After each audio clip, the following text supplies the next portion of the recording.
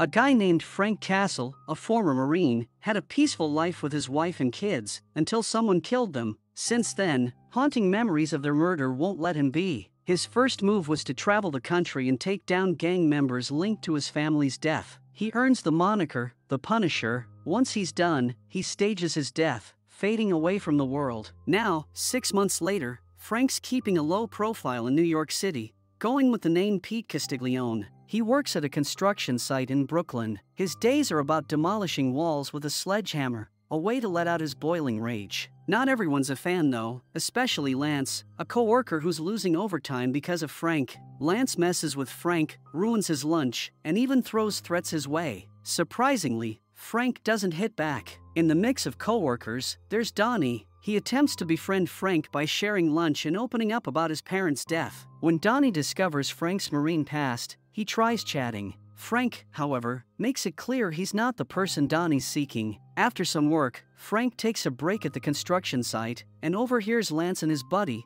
Polly, discussing a heist on a poker game guarded by the Nucci crime family. When they catch wind that Frank has heard their conversation, they warn him to stay out of it. Frank remains silent, brushing off their threats. Before they can escalate, their attention shifts to a friend who's injured at the site. Rather than lending a hand, Frank simply looks away. With their friend sidelined due to injury, Polly and Lance enlist Donnie for their heist. Eager for some extra cash, Donnie joins the duo, and they head to the location of the poker game. After incapacitating the guard, they storm the basement, guns drawn, and take everyone hostage. Donnie starts collecting the cash. Disaster strikes when his wallet slips to the floor, revealing his identity. Now exposed, Donnie becomes a target for the Nucci's men, who can easily track him down. It's game over for the robbers. Frustrated at Donnie for jeopardizing their plans, Lance and Polly unleash their anger, beating him mercilessly. Realizing that the Nucci gangsters will sooner or later find them,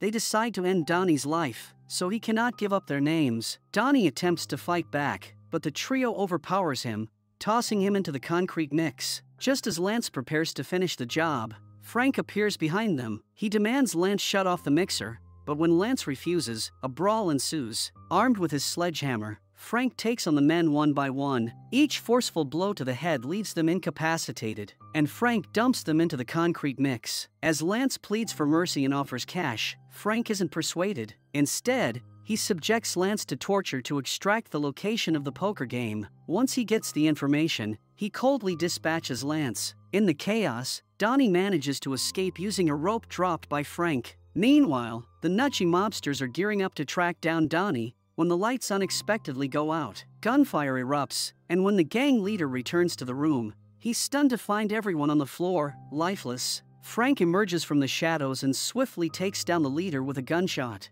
On the other hand, there's Special Agent Dinah Madani. She's back in New York City after a stint in Afghanistan. Her primary focus is the murder of her partner, Zubair, an Afghan national police officer. Dinah suspects that U.S. soldiers were involved in heroin trafficking, and when Zubair uncovered it, they silenced him. She tries convincing Special Agent in charge Carson Wolf, but he dismisses the case as off limits. Undeterred, Dinah turns to her new partner, Sam Stein, for assistance. She urges him to dig into files about Colonel Schoonover, the explosion and drug bust at the docks last year, and everything related to one of Schoonover's men, Frank Castle. Although Sam believes the Punisher is dead, Dinah finds it hard to believe that Frank and Schoonover died within New York City limits, just 20 miles from each other. It can't be a mere coincidence. Meanwhile, as Frank exits the basement, an unidentified person is seen analyzing gait recognition on CCTV footage of Frank. The man identifies himself as Micro and drops Frank's real name,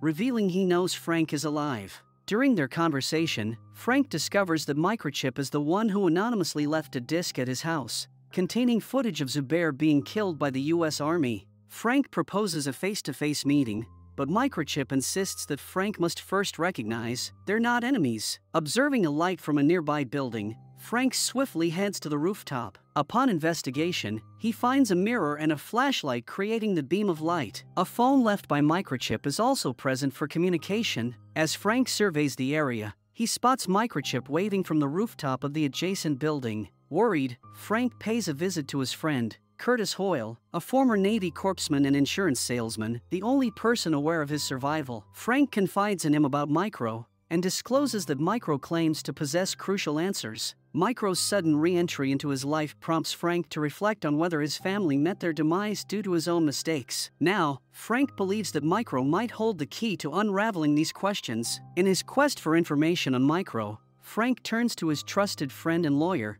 Karen Page. He briefs her on Micro's existence and seeks her assistance in locating the mysterious figure. Micro hinted that he's not the only ghost in New York, implying he also faked his death. Armed with Micro's name, Frank locates his residence and orchestrates a plan. He intentionally places himself in front of Micro's wife, Sarah's car, and pretends to get injured. To make it look real, he uses a razor to lacerate his forehead. Distraught, Sarah invites him inside to tend to his wound. Amid their conversation, Sarah recounts her husband's death. Unbeknownst to Sarah, Micro has strategically placed hidden cameras throughout the house to keep tabs on his family. Witnessing Frank's presence with Sarah, Micro panics. He suspects that his wife's life is in danger. He rushes home and waits outside. Observing a broken headlight on Sarah's car, Frank helps in fixing it. Instead of harming Micro's family, Frank provides assistance, allowing Micro to retreat to his hideout without exposing himself. Later that night, Frank shaves his beard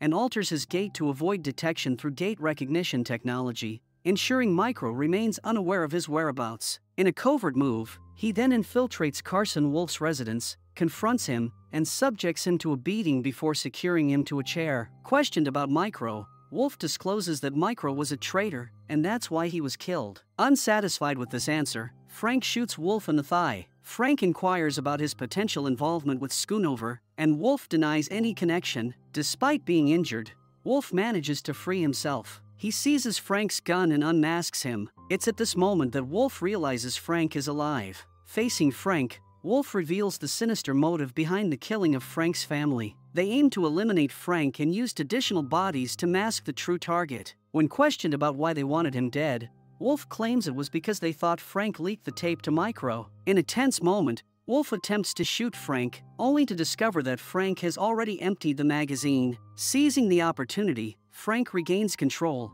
delivering a powerful punch to Wolf, before ultimately ending his life by snapping his neck. The next day, Frank sits in a diner and receives a call from Micro. Micro's first question revolves around why Frank visited his house. Frank responds that Micro chose to put his family in jeopardy by crossing paths with the wrong person. With this stern warning, Frank directs Micro to meet him at a cemetery. Upon Micro's arrival at the designated location, he encounters Curtis instead of Frank. Curtis relays the message that Frank has canceled the meeting and issues a stern warning. If Micro continues pursuing Frank, Curtis will retaliate by going after Sarah. Disheartened, Micro returns to his hideout, only to be surprised by Frank, who had hidden himself in Micro's car trunk. With disbelief, Micro witnesses Frank knocking him unconscious. Upon waking up, Micro begins recounting the harrowing story of the day he encountered Carson Wolf and his man. Sensing trouble, Micro instructed his family to stay in the car no matter what. As Wolf and his men closed in, Micro left the car, hoping to avoid a confrontation.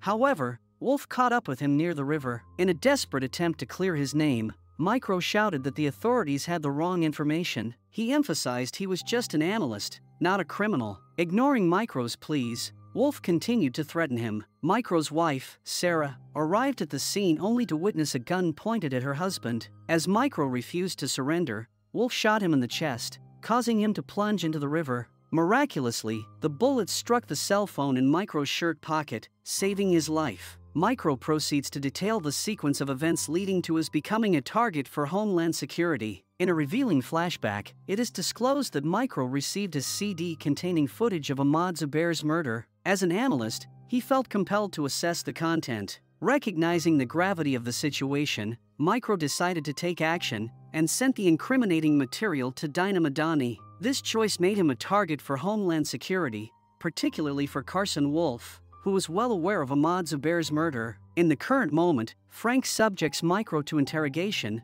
who is now stripped and bound to a chair. Unexpectedly, a three-minute countdown initiates. Micro discloses that it's a fail-safe system. If the countdown reaches zero, all camera feeds will be broadcast to media outlets. To stop it, a code and a retinal scan are required. As Frank is standing close to him, Micro takes the opportunity to inject Frank with a sedative. Causing him to lose consciousness. Upon waking and realizing that Micro hasn't executed him, Frank questions Micro's motives. In response, Micro attempts to persuade him that they should join forces in exposing the people behind Ahmad Zubair's death and the death of Frank's family. Frank starts recollecting the traumatic events in Afghanistan, where they did a mission called Cerberus. Frank's squad captured Ahmad Zubair, and a CIA agent known as Orange subjected him to brutal torture to extract information about his knowledge of their heroin operation. The conversations were conducted in Persian, making it evident that none of the squad members were aware of Zubair's innocence or Orange's involvement in drug trafficking. Tragically, Orange commanded Frank to shoot Zubair in the head and bury him, an order that Frank obediently carried out. A few days later, Frank and his team receive a mission briefing from Schoonover and Orange. From the start, Frank harbors suspicions about the mission being a trap, but his concerns are dismissed. The mission quickly turns disastrous as Schoonover loses his arm and the team finds themselves under heavy fire. Driven by rage, Frank takes charge and clears the exit, enabling the team to retreat. In the aftermath, as the team receives medical attention in the tent, Orange's sole concern is whether they killed their intended target. Unbeknownst to Frank and his squad, the mission was a setup, and Orange orchestrated it to eliminate witnesses of Zubair's murder. Enraged at Orange for still caring about the target, Frank violently attacks Orange, leaving him blind in one eye. In the present day, Micro reveals to Frank that the operation he was part of was entirely off the books. It lacked any official records or approval from the United States Congress, rendering it illegal. Frank agrees to collaborate with Micro, laying down one condition all the targets must be eliminated without exception or the opportunity for a trial. Micro agrees to Frank's terms. To execute their plan, Frank and Micro require weapons. Micro hacks into the NYPD system and discovers an illegal arms shipment arriving from Greece, with Turk as the buyer. To reach the location, they decide to ambush another gang. After a confrontation that involves killing the gang members and rescuing one of their victims, Frank and Micro depart the warehouse in two cars. Frank seizes Turk at gunpoint and demands information on the weapon's location. However, Turk shatters his plan revealing that the Greeks are selling the truck to another buyer who's willing to purchase the entire stock. All Turk can offer is a pink gun intended for a gangster's daughter. Disheartened, Frank returns to the hideout and starts cleaning Micro's pistol and the pink gun. Meanwhile, Sam briefs the team on their mission. They will be posing as criminal buyers to secure the weapons from the Greeks. Utilizing his hacking skills, Micro identifies the new location of the arms. As night falls, the mission starts with Dinah Madani leading. One car tails the truck while other officers, including Sam, wait at the intended destination. Suddenly, their communication systems are compromised, and a song starts playing in the background. Unable to communicate through comms, Dinah calls Sam, instructing him to remain focused. She soon realizes that someone is feeding them a loop, as she notices the truck passing from the same location a third time. While Frank seizes control of the truck, he directs Micro to take it to the hideout, while he follows in another car. Meanwhile, Dinah refuses to abandon the mission. She heads to the location and catches up to Frank's car. As she continues following the truck, Frank obstructs her path, preventing her from pursuing it. A chase ensues between Frank and Dinah, ending in Dinah cleverly eluding Frank's sight and reappearing directly in front of his car. Both Frank and Dinah accelerate, prepared for a confrontation. Unfortunately, tragedy unfolds as Micro collides with Dinah's car, causing a crash. Frank becomes infuriated with Micro for hitting Dinah's vehicle, sparking a brief argument between them. Fueled by the urgency to save Dinah's life, Frank pulls her out of the wreckage and places her on the road, away from the burning car. As he reads her identity, Dinah questions Frank if he killed Wolf. Frank confirms it, saying that he was a dirty agent. He then departs from the scene, warning Dinah not to interfere with his plans. Frank now possesses the guns, but he remains in the dark about Agent Orange's true identity. To uncover this information, he decides to approach Gunnar Henderson, the man who recorded Zubair's murder. Like Frank and Micro, Gunnar lives in solitude to avoid drawing attention from Agent Orange. Frank locates Gunnar in a forest, and as he explores the area, he is unexpectedly attacked by Gunnar with an arrow. After extracting the arrow, Frank takes cover behind a tree and repeatedly asserts that he is a friend,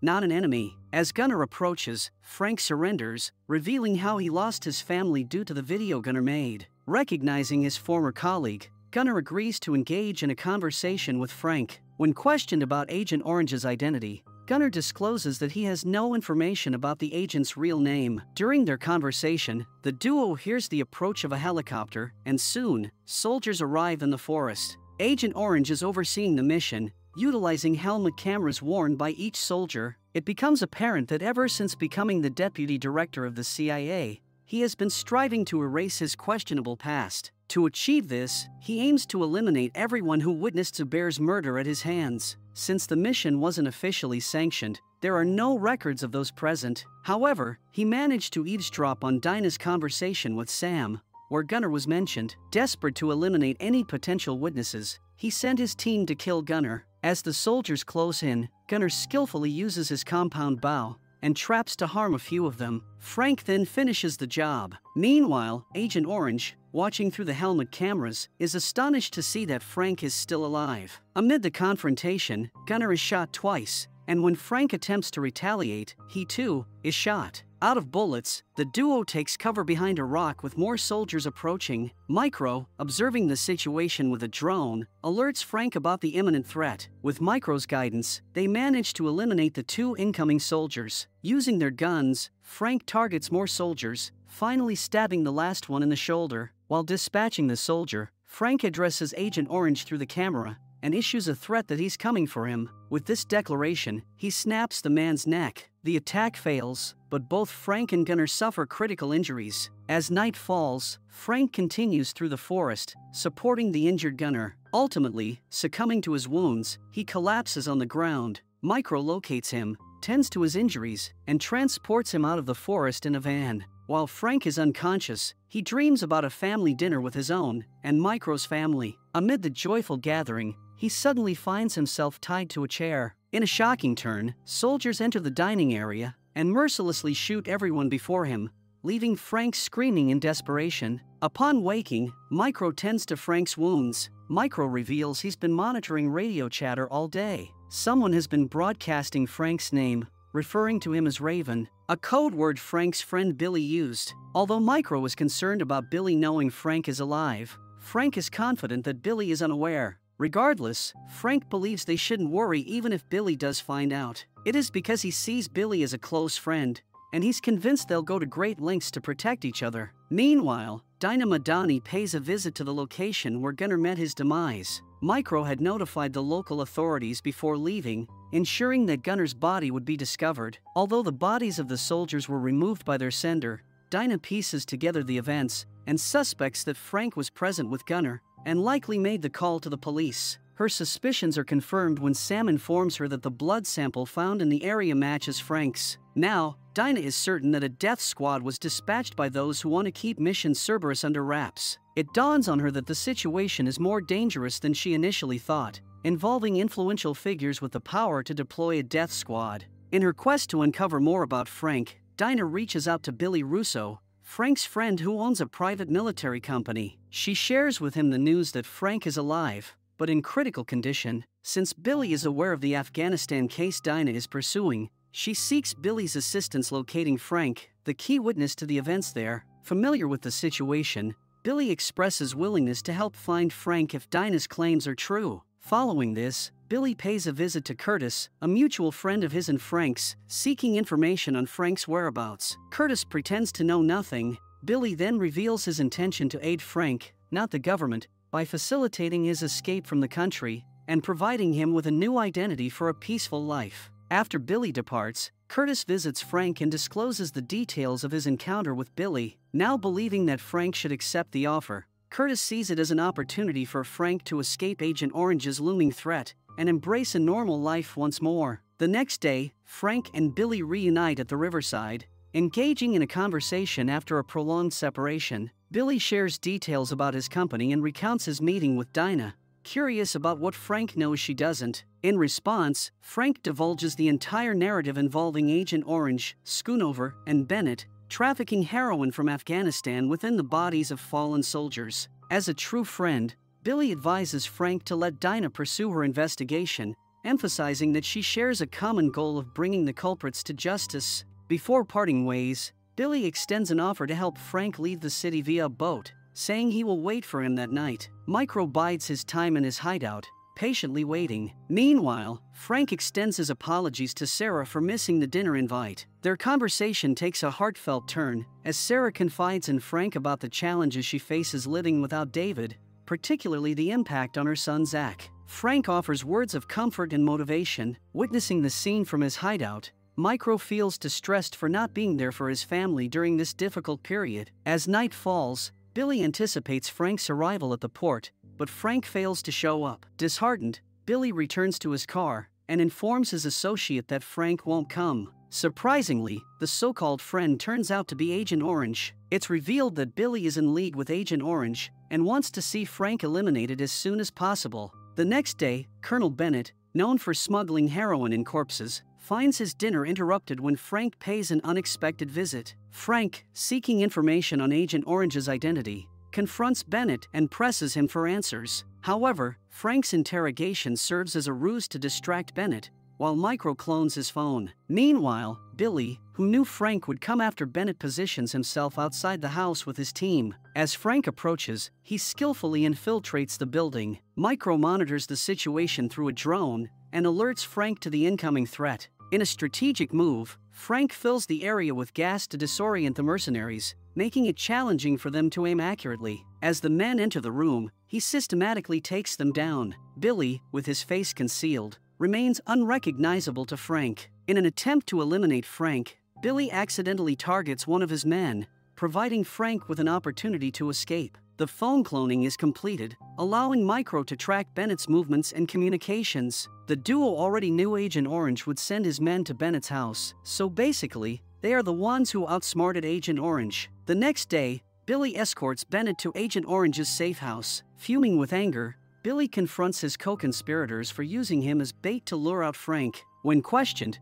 Bennett reassures Agent Orange that he hasn't divulged any information to Frank. Realizing Bennett's life is at risk, Agent Orange decides it's time for Bennett to retire. A plan is set in motion to facilitate Bennett's relocation to another country, ensuring Frank won't be able to track him down. As part of the arrangement, Bennett is instructed to leave his phone behind at the safe house. Accompanied by Billy, he departs to start a new life abroad, while Micro monitors the phone's location and extracts crucial information about the safe house. Meanwhile, Dinah is in her office, examining the case, when a sudden realization hits her. She confides in Sam, expressing her belief that her office is bugged. Connecting the dots, she notes that after they discussed Gunnar in her office, he ended up dead the next day. Suspicious, she initiates a search for any surveillance devices in her workspace. Confirming her fears, Dinah discovers a hidden bug on one of her shelves. Despite finding the covert listening device, she opts not to remove it. Simultaneously,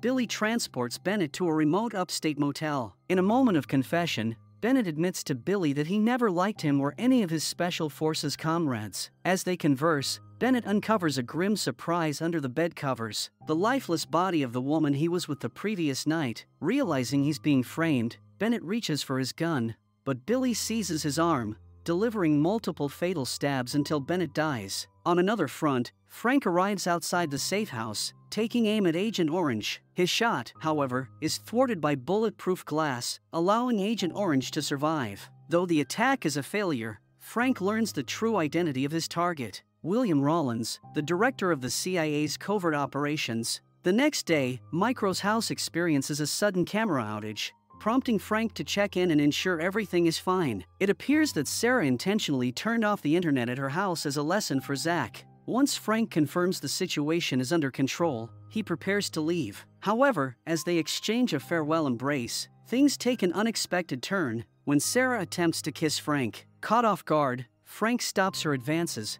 creating an awkward moment between them. Micro witnesses the unexpected kiss through the cameras, causing awkward tension between him and Frank. Despite the discomfort, he realizes it wasn't Frank's fault and harbors no grudge against him. Desperate to reunite with his wife, he suggests contacting Dinah Madani, who shares their goal of apprehending the same culprit. With the video evidence and an eyewitness, Dinah can arrest Agent Orange, which will allow Micro to return to his family. However, Frank firmly reminds Micro of their agreement. Agent Orange dies at the end. Micro loses control, saying that Frank's family is dead because of him, and now he wants everybody to die. Desperate, Micro attempts to contact Dinah but is stopped by Frank, who intervenes and renders him unconscious. Meanwhile, Dinah and Sam hatch a plan to expose the individuals behind the office bug. They devise a fake tactical plan for a fake weapon heist involving Frank. Obviously, Frank won't be there, but their plan will lure out those responsible for the bug.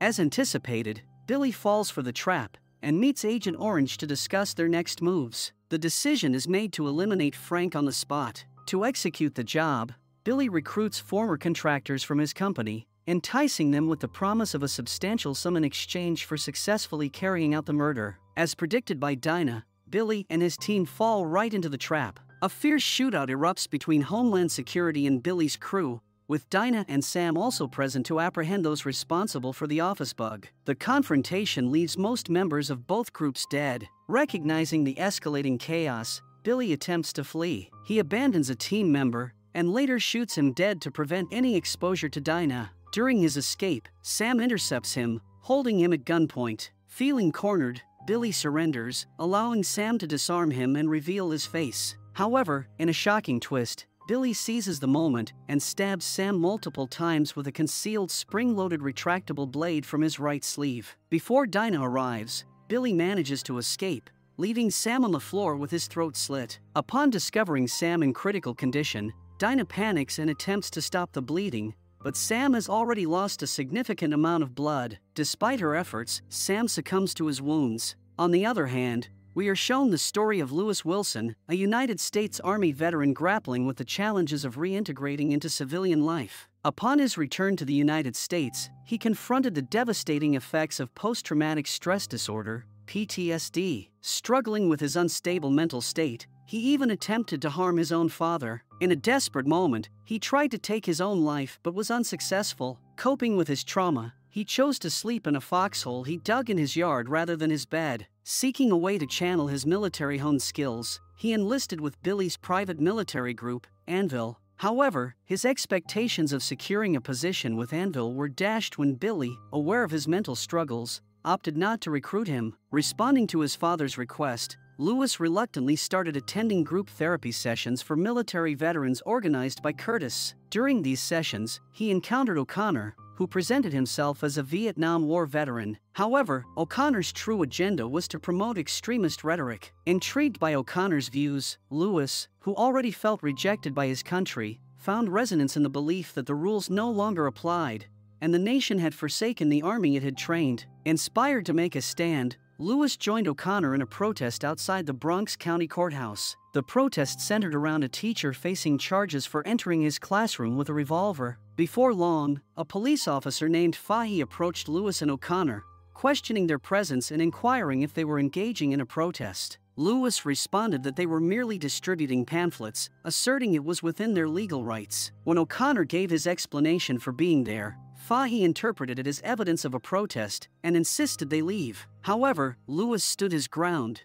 maintaining that they weren't obstructing anyone from entering the courthouse. Fahy was still unwilling to accept Lewis's reasoning and insisted they go, so O'Connor suggested they grab some coffee, but this infuriated Fahy, who claimed that Lewis had reached for his gun, a claim that Lewis refuted. Lewis then attempted to summon O'Connor as a witness, but O'Connor had left. He watched as O'Connor left him, and Fahy then shoved him to the ground and arrested him. Later, Lewis delved into O'Connor's military records, discovering that O'Connor never served in the Vietnam War. He confronted O'Connor with the evidence, but the liar denied the accusations, suggesting someone might have tampered with the information. Despite O'Connor's attempts to deny the truth, Lewis saw through the lies. When Lewis refused to accept his story, O'Connor demanded he leave his house, sparking a violent altercation between the two. In a desperate bid for survival, O'Connor wielded a knife, slashing Lewis across the stomach. However, Lewis managed to overpower him and retaliates by stabbing O'Connor multiple times, leading to his demise. Struggling to cope with the aftermath, Lewis tried to take his own life but couldn't. Faced with the overwhelming events that had unfolded, he resolved to take matters into his own hands. He went to a hardware store and purchased materials to craft homemade bombs. With all preparations in place, Lewis sets off numerous explosives across New York City, targeting a field office, a police station, and the federal courthouse. Amidst the chaos, he sends a letter to Frank's lawyer, Karen. He seeks Karen's help in the letter, believing she can understand his perspective. According to his manifesto, he's defending the liberties of the American people against a government he sees as trying to strip away those rights. As a call to arms, he insists that Karen publish his remarks, otherwise, he will target the New York Bulletin building next time. Disagreeing with his views, Karen opts to address him in an editorial, expressing her disgust at his beliefs. Meanwhile, Frank discovers the bombings through the news and reads Karen's response to Lewis. Concerned for Karen's safety, he fears her life may be in danger. On the other side, Karen participates in a radio program with Senator Stan Ori to condemn Lewis's actions.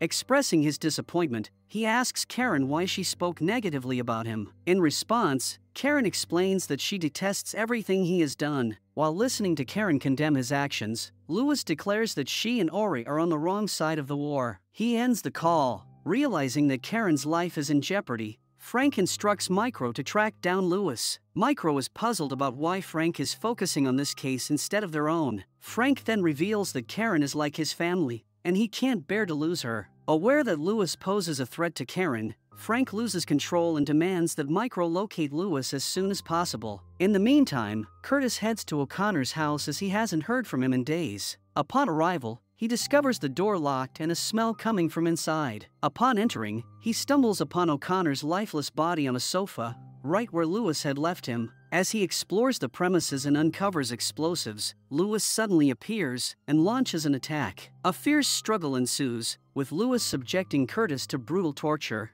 Shortly after, Frank arrives and finds Curtis tied to a chair with a bomb strapped to his chest. As Lewis dials Curtis's phone, Frank answers and initiates a psychological game with him. Standing outside the house, Lewis expresses admiration for Frank's actions and desires to take matters into his own hands, similar to Frank's. He informs Frank that he's called the cops but doesn't want Frank to die, suggesting that they should be allies. Frank agrees, and in return, Lewis provides the information on which wire to cut to defuse the bomb. As the police arrive, Frank takes quick action. He hurls a stone, incapacitating one officer and swiftly subduing the other. Seizing the opportunity, he makes his escape, leaving the scene in a stolen police car. However, upon returning to the hideout, Frank discovers that his identity has been exposed to the entire United States due to the police dashcam footage. Now, he is being labeled a terrorist and held responsible for all the bombings. The following day, while Karen interviews Ori, an explosion at the door sends them both flying to the floor. Smoke fills the room as Lewis and Frank start taking down the guards. Despite being injured, Ori manages to get up, seize his pistol, and fire at Lewis while making his escape. Karen is left alone with Lewis, this is the account Senator Ori provides to Detective Sergeant Brett Mahoney. However, Karen refutes his claims, stating it's not what actually transpired. She then recounts the actual events that unfolded. Lewis entered the room wielding a pistol, ruthlessly taking down everyone in his path. Senator Ori attempted to flee, but Lewis apprehended him at gunpoint. Karen tried to retrieve her pistol from her bag, but the explosion had dislodged it. As Lewis prepared to kill Ori, Karen pleaded for mercy. Just as Lewis was about to execute them both, Frank suddenly appeared, leaping in front of Karen to take the shot. Seizing the opportunity, Karen grabbed her pistol and attempted to make her escape. However, Senator Ori pushed her before Lewis to ensure his getaway. Frank aimed his gun at Lewis, but Lewis revealed he was holding a bomb with a single button in his hand capable of detonating it. Upon reaching the corridor, Frank and the security guards are compelled to surrender, while Lewis takes the elevator. A skirmish ensues between Frank and the security personnel. Frank strategically employs a lifeless body as a shield to maneuver away from them. The other half of the story is narrated by Dinah. A day earlier, she discovered that the individuals who attempted to kill Frank on the day of Sam's death were all linked to Billy's company at some point. Suspecting Billy of possibly installing the bug in her office, she confronted him to inquire about his intentions. Billy acknowledged the identity of the deceased men, but asserted that they were all former employees of his company, implying the company no longer had any association with them. As Billy denied the accusations, the alarm rang due to the ongoing attack. Everyone suspected Frank as the culprit, but Dinah was convinced of his innocence. She took the stairs and eventually found Frank. She suggested they team up to expose Agent Orange, but Frank insisted on dealing with him himself. Amid their conversation, Frank gets shot by his best friend, Billy. Billy finally revealed his true allegiance, disclosing himself as an accomplice of Agent Orange, justifying his actions as part of a war. he threatened Dinah to step aside and allow him to kill Frank. During their confrontation, security personnel arrived and apprehended everyone, including Billy, Dinah, and Frank. However, just before Frank could be taken into custody, he used a fire hose to make his way down and escape from the authorities. Meanwhile, Lewis had taken Karen to the kitchen, where he threatened to detonate the bomb. Frank soon joined them, prompting Lewis to use Karen as a hostage. Frank cleverly distracts Lewis, subtly signaling Karen to cut the white wire and disarm the bomb. Karen successfully cuts the correct wire on Lewis's bomb and shoots his foot through her bag. In response, Lewis locks himself in the storage room, realizing his imminent defeat. He rewires the bomb and triggers the explosion. Karen and Frank narrowly escape the door just before it crashes to the floor. On the other side, a police officer arrives at Sarah's house in response to a call claiming information about Frank. It turns out Zach, after seeing Frank's identity on the news, called the cops to report his frequent visits. When questioned, Sarah downplays it as a possible misunderstanding. While the police officer looks around, he asks about Leo, Sarah's daughter. Sarah claims she's spending the night with friends, but in reality, Leo was upstairs witnessing the unfolding events. When the officer informs Sarah that they need to go to the police station, she senses something is wrong. Suspecting trouble, she instructs Zach to run, and at that moment, the officer reveals his true intentions as he chases after the mother and son. Sarah manages to overpower the officer and grabs a knife, but the other officer seizes Zach, forcing her to surrender. Unaware of the events unfolding in his house, Micro tunes into the news, where Billy portrays Frank as a terrorist. When Frank observes signs of a struggle in Micro's house, they review the footage and discover the abduction of Sarah and Zach. In a sudden realization, Frank understands that their hideout's location is now compromised, since Sarah has his number, making it easier for Billy to track them down. Anticipating the imminent showdown, Frank meticulously prepares. He strategically places guns in various locations, loads his weapons, dons a bulletproof jacket, and awaits the arrival of the enemies. As expected, the hideout is soon infiltrated by mercenaries. The men are unaware that they are facing not just Frank, but the Punisher, who has returned with even more resolve. Executing a calculated ambush, Frank decapitates one mercenary and hurls it at the others. The resulting explosion injures two attackers, allowing Frank to take down the remaining assailants. Utilizing his exceptional combat skills, he skillfully evades their attacks, striking them with lethal precision and turning them into lifeless bodies. After neutralizing all the mercenaries, Frank uses their phones to contact Billy. Billy informs him that Sarah and Zach are in their custody and proposes a deal. If Frank and Micro want to free them, they must surrender. The exchange is set to take place the next day. Later, Frank joins Dinah, Micro, and Leo, who has now reunited with her father after successfully evading capture by the cops. Having learned that Micro allowed Dinah in, Frank decides to place his trust in her. The next day, the exchange takes place. Zach and Sarah are compelled to wear fuel containers that have been cut and are leaking. Sarah walks hesitantly towards Frank and Micro, struggling to believe her husband is alive. Simultaneously, Frank maintains contact with Billy, who has his sniper aimed at him, leaving no room for double crossing. Billy's men ignite the fuel, prompting Micro to remove his jacket and use it to extinguish the flames. Homeland Security arrives at the location, but before they can intervene, Frank is caught and knocked unconscious. Tragically, Micro becomes a victim of a bullet from Homeland Security. As he succumbs to death, Sarah screams in pain,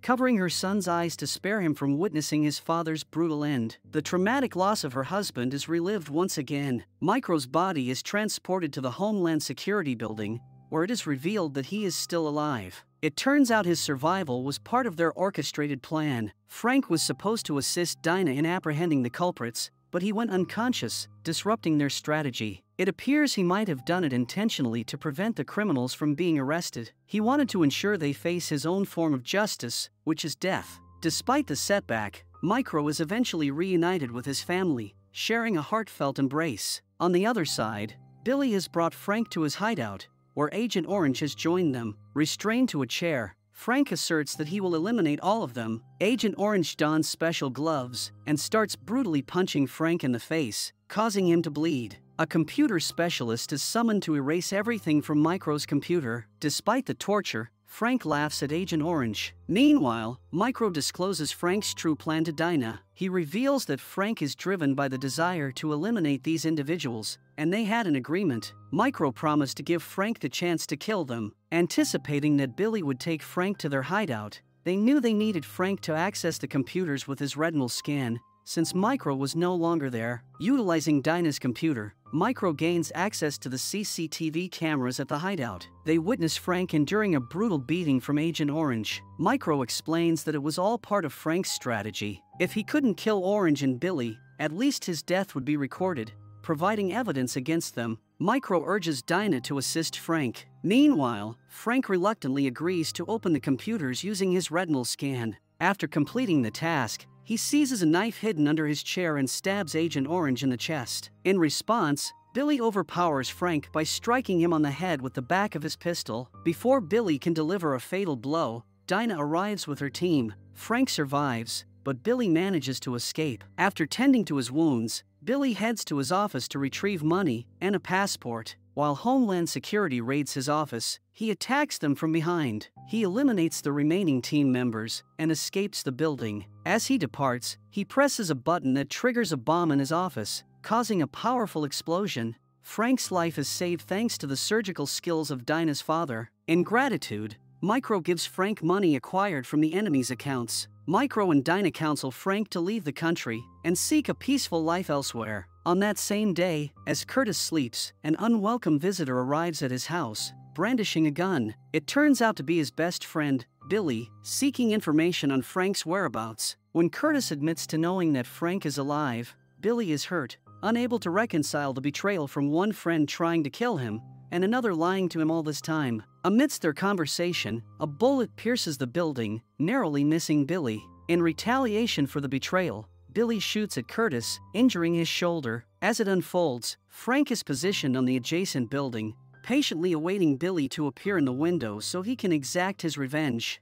Billy attempts to rise, but the moment his knife becomes visible to Frank, a shot is fired, forcing him to remain where he is. It becomes evident to Billy that escaping alive is a daunting task. Frank contacts Curtis and instructs him to put Billy on the phone. When Billy takes the phone, Frank warns him not to harm Curtis. A decision is made to meet at their usual gathering place, the park where they used to spend time together as a family. Frank decides to let Billy go, allowing him to arrive at the park, where he takes two employees hostage. As Frank approaches the location, he discovers two teenagers tied to the horses of a running carousel. Initially distracting Billy by firing in the opposite direction, Frank enters the park from another angle and launches an attack. A shootout ensues between the two adversaries. Frank silently maneuvers around the carousel to get a clear shot at Billy. He manages to hit Billy in the mouth, causing him to scream in pain as he extracts the bullet. Sensing defeat, Billy retreats toward the teenagers,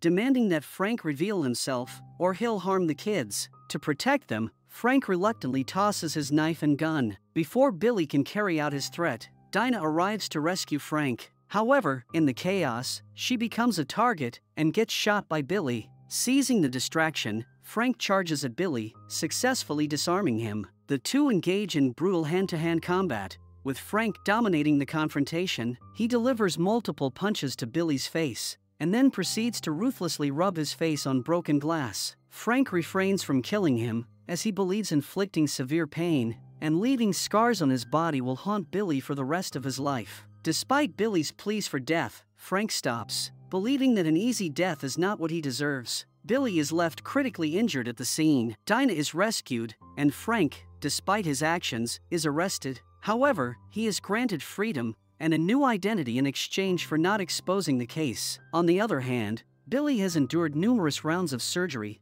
his face now concealed by multiple layers of gauze. The doctors are unsure if he will suffer brain damage or memory loss. The looming question arises once he recovers, will he seek revenge on Frank, determined to settle the score?